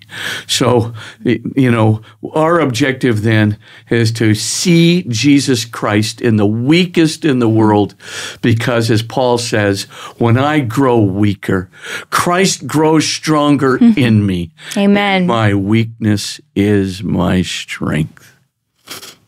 Beautiful. I think I stopped you at number two. you had did you have three more uh, proofs for why Jesus? You, you were referencing your book, Father. Uh, absolutely, of course, the If you've got a few more minutes, you want to rattle them off for us. This is such just- awesome. uh, This is so wonderful to hear. So Uh, number one, of course, is the evidence for the resurrection, the evidence Yes. of the early church's uh, miracles through the Holy Spirit in the name of Jesus. The third thing is is actually the preaching of Jesus Himself, Mm. and uh, you know that that one great um, uh, you know uh, uh, you know uh, sort of seminal statement that He makes to His disciples: "Full power and authority has been given over to me, uh, you know, by my Father." And then He goes on to say, "And no one knows um, the the Son except the Father, and no one knows the Father except the Son, and anyone to whom the Son wishes to reveal him. What's Jesus saying there? I know the Father as the Father knows me. That word know just doesn't mean conceptual. It literally means that they, they know each other inside out, as it were, in their very being, in their very hearts. He is equivalent to the Father. That's what he's saying. He's declaring himself to be divine, and there are many other reasons uh, uh, for believing this. But, you know, I'm just going to throw out the Shroud of Turin here because there's a huge amount of evidence for the resurrection on the Shroud of Turin, the particle radiation theory, but that is for another day. But if you know the, the details behind that particle radiation theory, you will not have a single scintilla of a doubt of Jesus rising from the dead. Uh, remember, the 1988 carbon dating has been completely debunked. And so the Shroud of Turin right now, uh, there's just immense amounts of evidence of its authenticity and the description of the crucifixion, uh, you know, through the blood uh, and, and the imaging on the shroud is so accurately and uncannily predictive of everything that the gospel accounts say. It just, um, I have not, not a single doubt that this thing uh, is this um, uh, rel- is a relic not only of Jesus' crucifixion, that it really was his burial shroud, but of his resurrection too. Literally, the particles that constituted his body in a gigantic flux of neutrons and proton deuteron flux, uh, that they actually constituted the image that's emblazoned on the shroud. And there's very good scientific proof for it, which I can describe in another episode. So I do think that's another way in which science, uh, you know, comes into the fore. There are a variety of other things. We call them historical critical method. Uh, we can see not only that Jesus, during his ministry, he didn't just have what we call the prophetic power of performing miracles. Jesus performed miracles like raising the dead by his own authority. In other words, when Jesus uh, gets there, right, uh, you know, to uh, the scene, let's say the widow of Nain, and he sees uh, the boy, he's dead, coming out on the bier, and the widow is weeping and so forth. Jesus doesn't uh, then make an appeal to God and, and say, you know, Lord, can you help me uh, to, to do this? I, I want to be your instrument, your mediator. You know, no, Jesus says, young man, I say to you, arise. Mm-hmm. And he uses the emphatic ego. In Greek, you don't have to say ego, lego. And, you know, I say. All you need is lego. It's, mm-hmm. it's conjugated. So if you use the ego with it, you're pointing attention to yourself. I say to you, by my own power and authority, arise. Now you can just imagine what these these Jewish people are thinking. Wow, only God has power over life and death. This guy's going around doing, you know, raising the dead by his own power. He must have the power of God within him. This is already being, you know, bandied about. Oh, do you do not think for a moment that the Pharisees don't recognize mm. that Jesus, by this very action, right? How does he uh, uh raise the the, um, the, little girl, um, you know, the, mm. the daughter of Jairus? Same thing, little girl I say to you, right? Talitha koum, I say to you, arise. I say, me, by my own power within me. That's just the beginning of it. Of course, Jesus claims to have the power to forgive sins, which, of course, the Pharisees immediately see as a blasphemy, et cetera, et cetera. But this goes on and on and on and on. And it would take me a lot of time to give you the full uh, list of evidence, but there's tremendous power, uh, tremendous evidence uh, from a scientific and historical vantage point of Jesus' resurrection, and of course of his miracles by his own power, of his disciples' mm. Miracles in his own name. You start putting together the whole gamut of things, including uh, and around his preaching, you get a pretty good picture. He really is the Son of God. Incredible. Incredible. And those listening, let us know if you want to hear more about the science behind the Shroud of Turin. And I know you have a lot to say about Eucharistic miracles I to Father Spitzer. So we will have to get into that in the future. But wow, this has been awesome. And your books, you know, I highly recommend. We will link your website so people can explore them more. These are no mere mere books; these are tomes. It's in so you're, footnotes. You you you you've given us some cliff notes, which I really appreciate for the YouTube world. I know a lot of our listeners, though, are readers and are going to love to explore those books. So, Father, where can people find your work? Uh, well, of course, uh, you can go to our own website at magiscenter.com. we do have a little bookstore there. Of course, you can go to um, uh, um, ignatius.com uh, for the Science at the Doorstep to God. You can go to osv.com, osvpress.com uh, as well for the Science, Reason, and Faith Discovering the Bible. That's putting together the scripture and, and faith and science. And um, also, um, you can go to Amazon or any of the, uh, the usual um, online uh, uh, distributors and, uh, and realtors. Well, this has been absolutely delightful. Thank you so much, Father Spitzer. Will you come back? Can we of can course. we have you back? I know you're not too far from here, so hopefully it wasn't too much of a trek. But what a wonderful episode, and thanks so much for taking the time to talk to us about the existence of God and the incarnation. Thanks so much for listening to this episode of the Lila Rose podcast. Let me know what you think. I, I think I, there's so much fascinating stuff and so much more to unpack from what Father Spitzer was saying about the account in Genesis and how it does not contradict science, the existence of God, the incarnation, so much good stuff. Let me know if you want what questions you have for Father Spitzer. We're going to have him back in studio and we're going to tackle some more stuff. I'm especially interested in the the history behind the science behind the resurrection and Eucharistic miracles. That was actually big in in my faith story of becoming Catholic. So mm-hmm. that's for another day. But don't forget to subscribe to the Lila Rose podcast if you haven't already. If you're watching on YouTube, ring that notification bell so you hear about episodes immediately. And if you're listening on your Apple or podcast, Apple Podcast or Spotify, don't forget to leave us a review that helps the podcast reach more people. Last thing, of course, check out Father Spitzer's work also, check out our new Locals community. We are now on Locals. You can join us there. You can support the podcast there, become a patron, get special access to our community that we're building. I'm super excited. This is going to be a transition from Patreon. So, our patrons, you're going to get special access to. I'll let you know about that more through Patreon. But check out the Locals community today. The link is in the bio, and we will see you next time.